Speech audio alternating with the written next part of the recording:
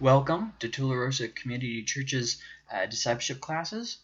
Um, my name is Michael. I am the associate pastor of discipleship and of music. Um, so, so what is discipleship? It is um, simply saying, "Hey, I am a follower of Jesus, and I want to be more like Him." It's something that is commanded. God told us to do that uh, in the Bible, and so it's definitely something that, that, that you want to be doing. It's something that will help you grow, uh, help you uh, mature, help you move forward. Um, this uh, this class is, is specifically for new membership to the church. Um, we have a, a three level um, discipleship setting. This is the first level of discipleship class. It's 101 Christian Basics. After this, we have 201 uh, Christian Growth. It has a little bit more um, complicated, complex uh, thoughts. A little bit it goes a little bit deeper.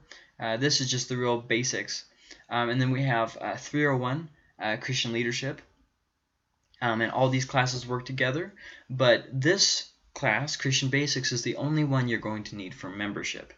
Um, 201 will just help you to, uh, to understand more, uh, to grow more, um, and is uh, at different times it's been required for different ministries, um, but that might be subject to change in the future.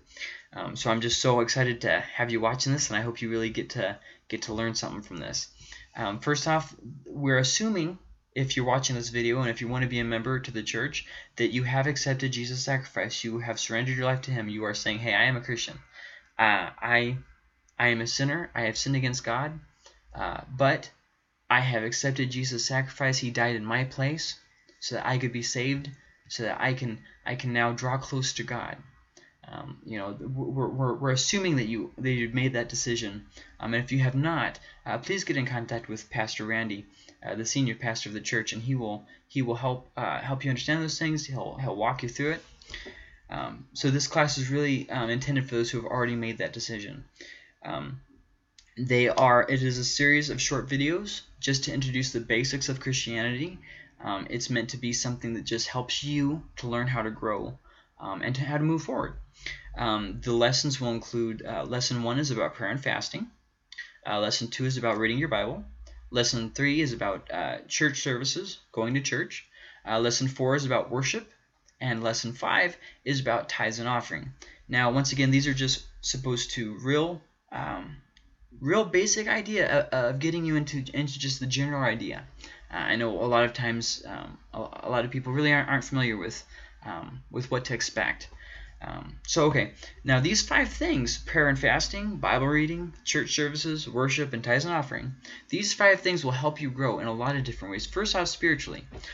You'll find as you, as you grow in these areas that you um, you will grow in your relationship with God. Um, when you read your Bible, it'll be more productive. Your prayer time, excuse me, will be more productive. Um, it will get to be more fun. Um, I know a lot of people say reading your Bible fun, but yes, that's true. It will be fun. Um, uh, you'll grow mentally. Um, we see a lot of people um, who have uh, panic attacks and depression and that kind of stuff. Well, once you start feeding your spirit, once you start growing as a Christian, um, it's easier to deal with um, mental uh, disorders. Obviously, um, you still need to go to the doctor, and you know, I'm, I'm not saying that you don't need to take medication or anything like that. I'm just saying it will help you to grow mentally. Um, it will help you to mature um, a lot of times uh, things happen in our lives that kind of um, we focus on and kind of hold us back from growing. And the more we seek after God, the more we learn how to move past those things and grow. Um, it will also help help you physically and uh, socially. Yeah, those things are all kind of connected socially in this in the aspect of you know how to make good friends and and, and really um, as a Christian to grow closer to other Christians. Um, so okay, um, why membership? Hey, why should I be a member? You know, it's this is all good and everything, but hey, why? Why should I be a member? Um, why don't I just go to church and let that be good enough? Well, there's a lot of reasons to be a member. First off, to know what's going on.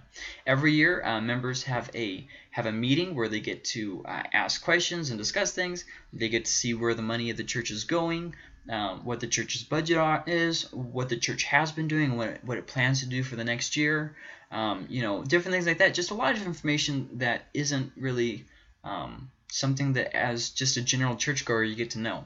Um, you really get to get to know what's going on. Second off, you really get to be a part as a member. Um, more ministries will be opened up to you, and uh, you get to really feel like you belong, feel like you're part of something bigger. Um, you, as a member, you get to vote on issues with the church. Um, if you're not a member, you don't get to vote. So let's say um, a new pastor, um, let's say Pastor Randy uh, retires and a new pastor's coming in. Well, as a member, you get to vote on whether you think this is the right pastor or not. Um, whereas if, if, you're not a member, well, the church is going to change and you have no say-so of it.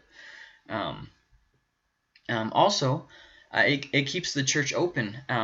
Churches operate as um, what's called a non-profit organization. Now that means that you have to maintain membership and those kinds of things. Um, and so when you become a member, you're helping the church to continue uh, to run as a church. Um, nonprofits get tax exemption and that kind of stuff, which really helps in paying for ministry, um, paying for the gas for the buses to be able to pick up the kids, all that kind of stuff. Um, which once again we wouldn't have as as great of um, ability without that nonprofit uh, status with the state. Um, also, it helps with accountability. Um, when you uh, sign on as a member to something, you, you are saying, I'm committed to this thing and it helps you to um, to just have have more of a safeguard against you know falling into old habits, against you know um, getting into let's just say a less less than productive life.